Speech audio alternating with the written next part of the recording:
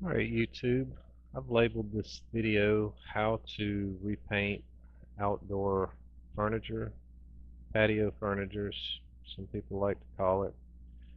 This uh, particular set I've got here is actually a uh, wrought iron set that who knows when they were made or who they were made by but uh, at some point it was uh, sold in a store somewhere and repainted uh, years later by someone else, not me.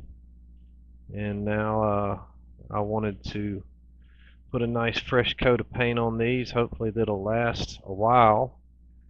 And uh, I'm going to show you how I do it. Uh, may not be the way everybody does it, but uh, I think it's the way that uh, would be best for most people. Uh, I'm starting out here pressure washing. Uh, if you don't pressure wash whatever you're going to paint, it's probably not going to stick.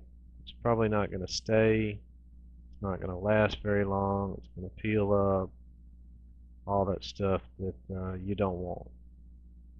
So after I pressure washed all of these, I flipped them over pressure wash the underside, the backside, every corner crevice that I could get to. Tried to pressure wash all that old white paint off, but I, I didn't.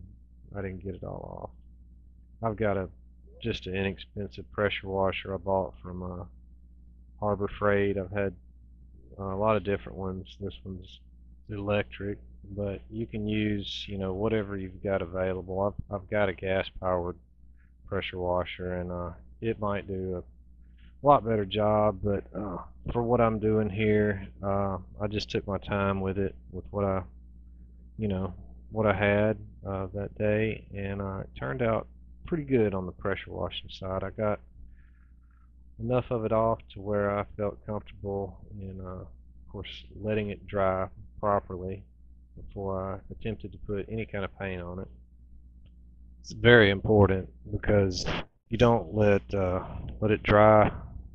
You know the water. Uh, it's just not going to stick.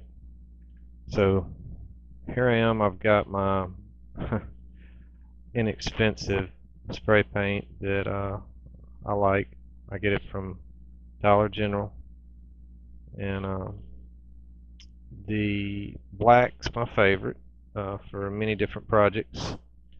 And word of advice, if you use the black gloss only, sometimes it doesn't stick very good. But if you use the black flat first, kind of like a primer, it does better. And the same way with any kind of spray paint, if you put a, a really light coat on at first, almost kind of like a dusting, it just does better because I've spray painted so many different things. If you put a thick coat of, of any kind of spray paint on there, whether it's gloss, flat, you know, Rust-Oleum, Dollar General, whatever, uh, and you do try to get it all the first coat, a lot of times it will wrinkle up the paint underneath it and that sucks because you got to start all over. So whatever you're using whatever spray paint you're using um, just put a light coat first. That's what I'm doing here. I got the back of this chair and I'm just putting a real light coat of uh, flat black on there. And I'll come back later uh, after this dries pretty good and put a coat of uh, you know, glossy black, same brand. And uh, that works good for me. Uh, these uh, chairs are a lot easier to paint than that table you see in the background. I had to do a lot of taping on that table.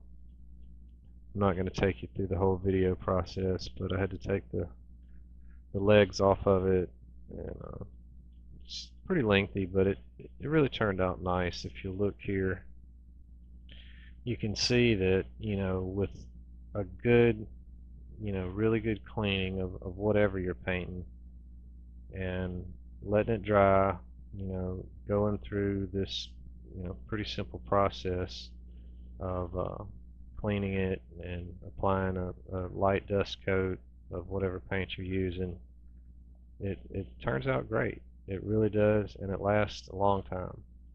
So I'll leave you with some still frame pictures I took uh, after I put it out in the yard. Uh, I was originally doing this project uh, thinking that I was going to resell these, which I might, but uh, they look so nice, uh, I kind of just want to keep them. Uh, if you watch my channel, I usually keep everyone posted on at least stuff like this pertaining to my recent videos. Uh, and if you would please go ahead and subscribe and like this video if you liked it.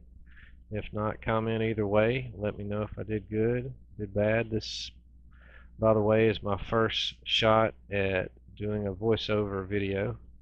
Let me know how I did, and uh, thanks for watching.